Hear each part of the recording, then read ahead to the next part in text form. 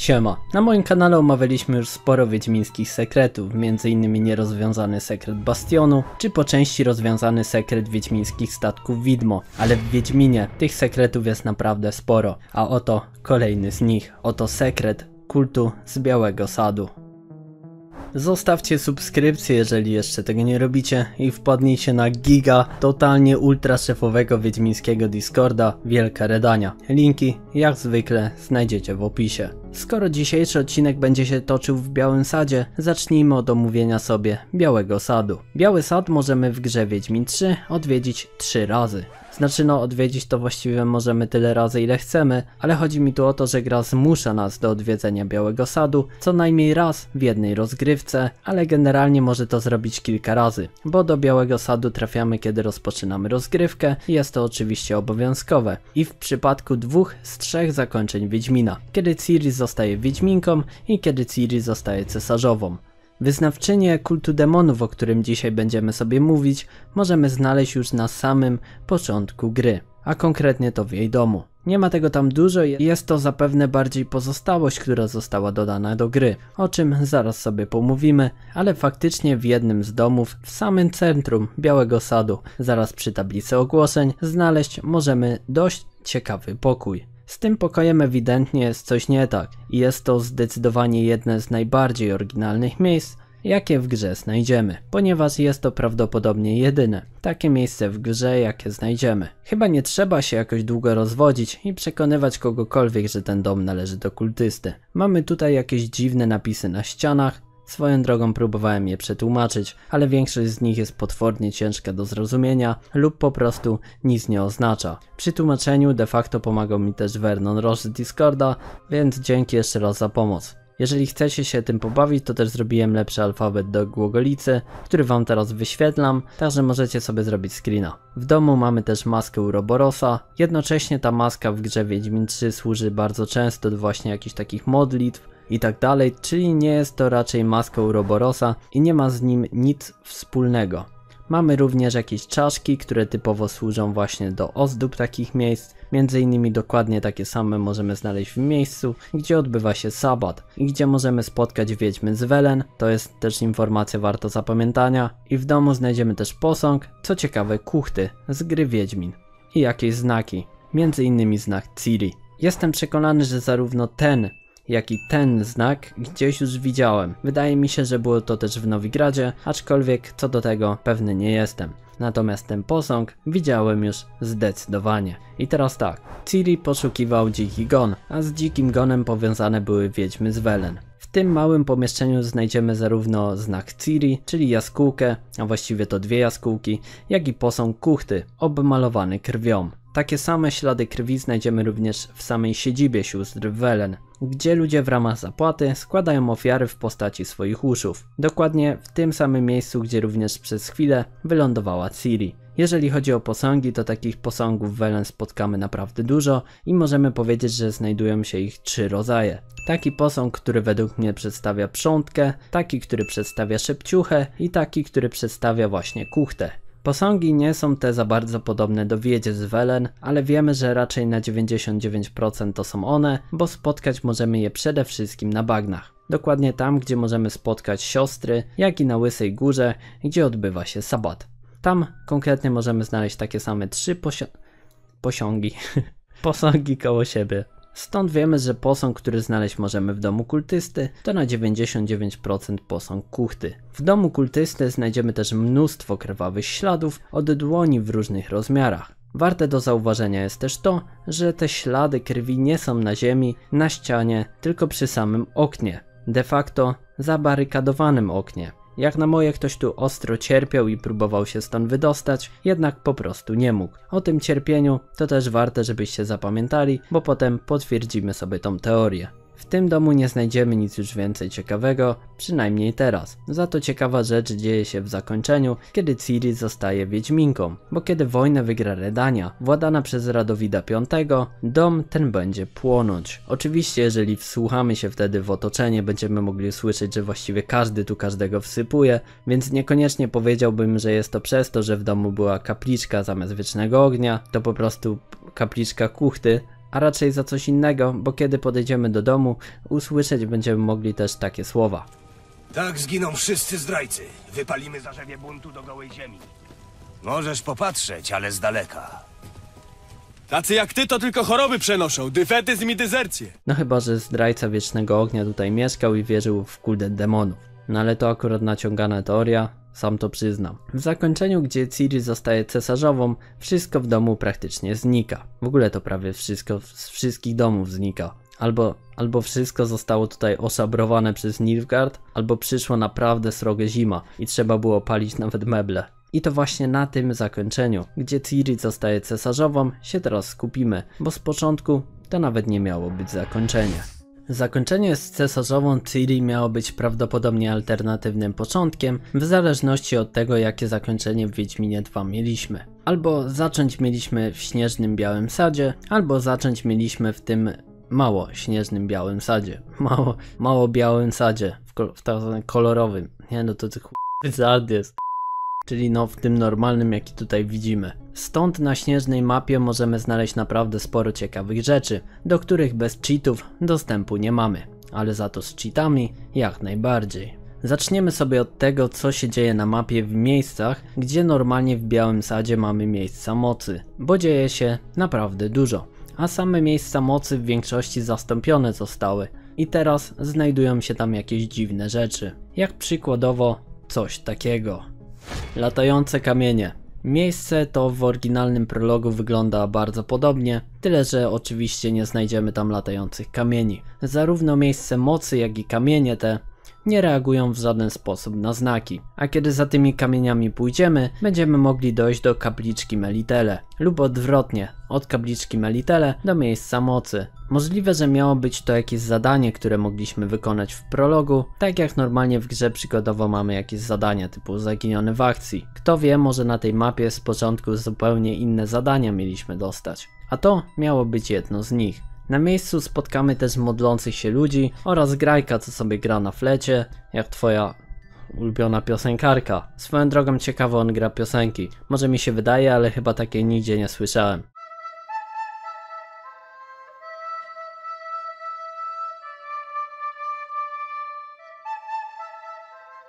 No to, to nie są te piosenki oczywiście. To te.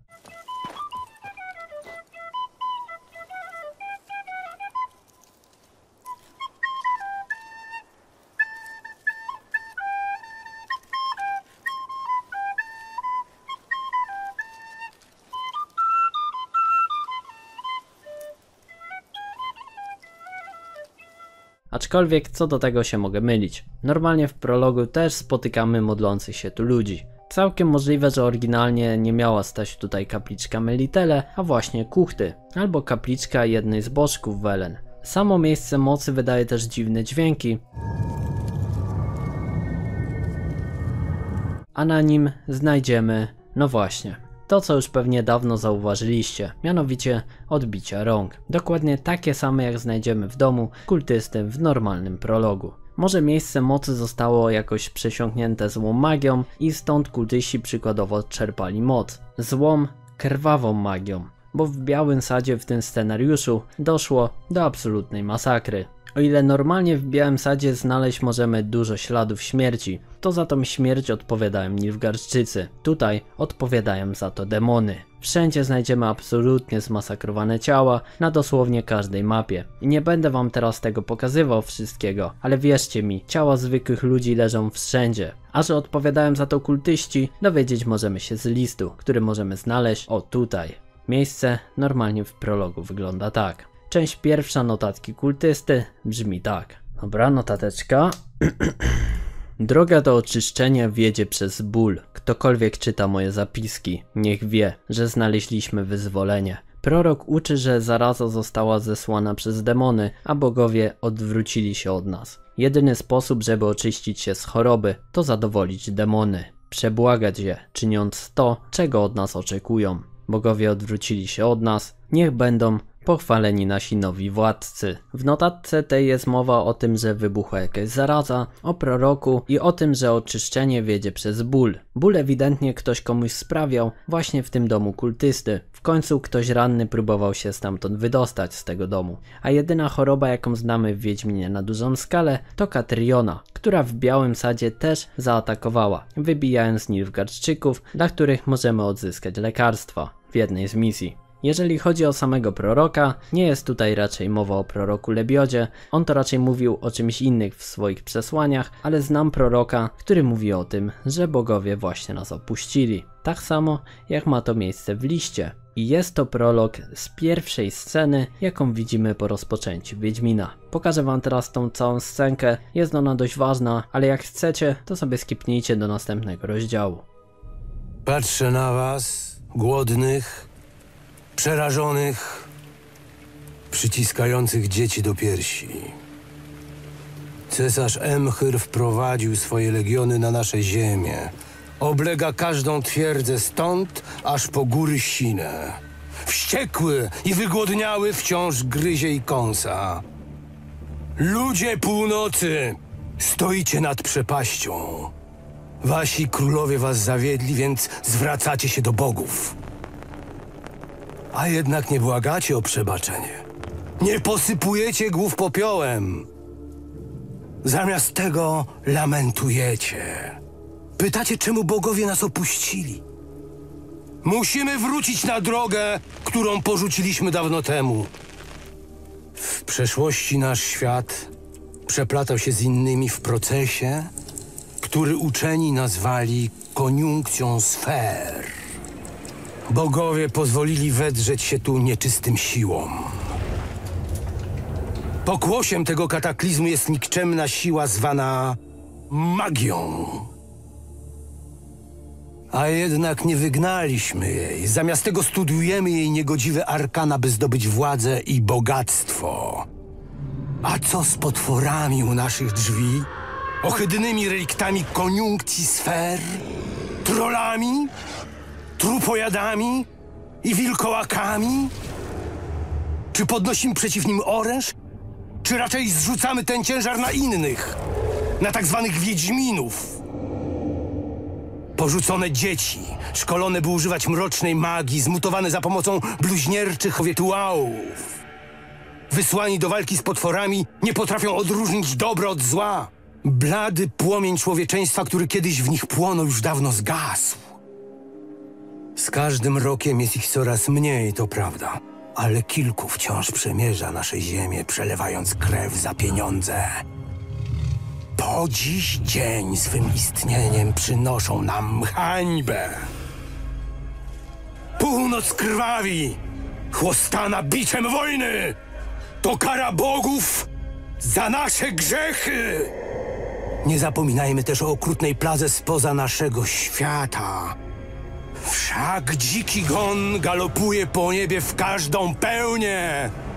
Mroczni jeźdźcy porywają w nieznane nasze dzieci. Niektórzy mówią, że to zwiastuje drugą koniunkcję. Czy damy radę powrócić na drogę światłości? Czy znajdziemy siłę, by wygnać czarodziejów z naszych królestw? Zjednoczyć się wokół ciepła wiecznego ognia? Bliski jest czas miecza i topora. Tej wojny nikt za nas nie wygra. Bliski jest czas szaleństwa i czas pogardy.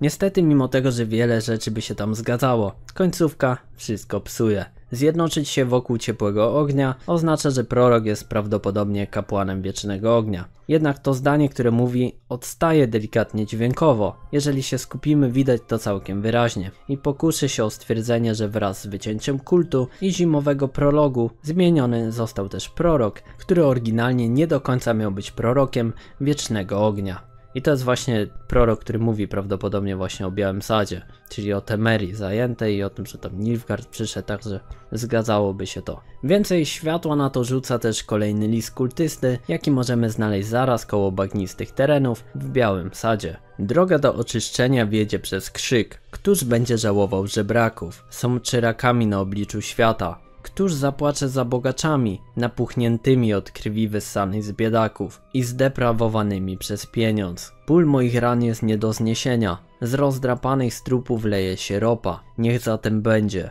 Zadam ból za wytchnienie i zabiorę życie, w zamian za moje życie. Władcom miły jest krzyk wydarty z gardła, więc zrównam bogatych i biednych, będą wrzeszczeć jednakowo. List ten rzuca nam troszeczkę więcej światła na to, co wydarzyło się w Białym Sadzie i kto jest odpowiedzialny za tą całą masakrę. Całkiem możliwe, że ci kultyści, bo wątpię, że to tylko jeden kultysta, byli właśnie chorzy na Katrionę i strasznie cierpieli. Coś im po drodze odjechało i zaczęli zabijać w imię demonów. Wiemy, że Katriona powodowała ogromny ból, nie tylko z nowo dodanej misji w cieniu wiecznego ognia, ale również z misji niebezpieczny ładunek, której to jeden z zarażonych prosi nas o to, abyśmy go zabili. Po więcej tej misji odsyłam was do filmu 3 Niesamowite ukryte misje Welen, o których nie wiedziałeś. A ponadto sama notatka w wersji angielskiej wiki nazwana jest Notes by Infected Demon Cultist, czyli notatki stworzone przez zainfekowanego kultystę demonów. W grze znajdziemy też cmentarz, w którym tak jak to normalnie ma miejsce w prologu, znajdziemy tam cały ten schemat szkoły żmii, chyba tej żmii, o ile się nie mylę, i modlących się tam ludzi, których to normalnie w prologu nie spotkamy.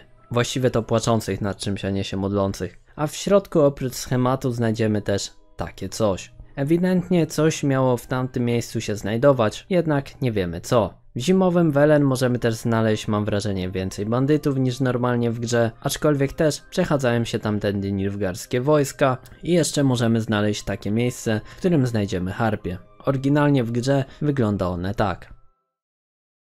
Ale dzisiaj ze mnie detektyw. Taki ze mnie detektyw, że mimo tego, że miało być tu podsumowanie dzisiejszego odcinka i miałem go skończyć, przed wypuszczeniem tego odcinka postanowiłem jeszcze raz wyruszyć do Welen w poszukiwaniu większej ilości informacji. I znalazłem coś naprawdę mocnego, bo jest jeszcze jedna religia, która wielbi ogień, pradawna religia. Ogień oczyszcza. Siostro i bracie, dołączcie do nas na Diablim Skoku. Chodzi tutaj oczywiście o Diabli Du, gdzie mamy cały ten motyw Katriony. Także całkiem możliwe, że teoria z tym prorokiem z początku gry nie jest aż tak bardzo oderwana od rzeczywistości. Może faktycznie miał być to prorok kultystów. Jeżeli pójdziemy tam, gdzie się patrzy ten stwór, dojdziemy do Duan Hen, miejsca, w którym oddawana jest cześć starodawnym bogom gdzie znajdziemy przewróconą kapliczkę, która to odgrywa swoją rolę w zadaniu obrońca wiary, gdzie za zadanie mamy naprawić zdewastowane przez studentów kapliczki w Welen. Kapliczki, co ciekawe, Werny, kolejnej bogini z Welen. Zatem wychodziłoby, że ta kapliczka to kapliczka Werny, ale myślę, że twórcom po prostu nie chciało się robić innego modelu, lub logiczne wytłumaczenie jest przykładowo takie, że ludzie myślą, że Werna to wiedźmy, albo po prostu, że wiedźmy to Werna pod różnymi postaciami. Ten odcinek pozostawia zapewne więcej pytań niż odpowiedzi, a do wniosków, jak to bywa w takich odcinkach, musicie sobie dojść sami. Bo niczego być tu pewnie nie możemy, ale jak na moje to tak samo jak Katriona i cały Diabli Du, swoją drogą ta nazwa pasuje do kultystów, tak samo jak Katriona i cały Diabli Du został wycięty, tak samo wycięci zostali kultyści. A swoją drogą, co dokładnie zostało wycięte w Diablindole, znajdziesz w moim filmie Wiedźmin 3 usunięty content Diablidu. Pierwszy film, który zapoczątkował 80-odcinkową falę filmów na moim kanale o Wiedźminie. Nie licząc oczywiście shortsów i TikToków. Ostatecznie zakończenie miało być alternatywnym początkiem Wiedźmina, który toczyć miał się inaczej, w zależności od zakończenia Wiedźmina 2. A możliwe, że sama koronacja Ciri i to jak zostaje cesarzową miało toczyć się w Wyzimie. Kult miał być powiązany prawdopodobnie z Katrioną i Diablindołem i całkiem możliwe, że z Wiedźmami z Welen. Oczywiście co do żadnych tych słów nie jestem pewien. To wszystko to jest jedna wielka teoria, więc śmiało możecie pisać swoje teorie w komentarzach i co sądzicie, że tak naprawdę wydarzyło się w Białym Sadzie. Możecie też zostawić subskrypcję, jeżeli jeszcze tego nie robicie i wpaść na ultra giga szefowego wiedźmińskiego Discorda Wielka Redania. Można się tam pośmiać z memów, poodgrywać RP, znaleźć znajomych do gier, albo nawet pograć z nimi w gwinta. Mamy super naklejki, emotki, awatar się rusza, no wszystko tam jest. Wstyd, że tam cię chłopy jeszcze nie ma. A my co? My widzimy się w następnym. Do zobaczenia.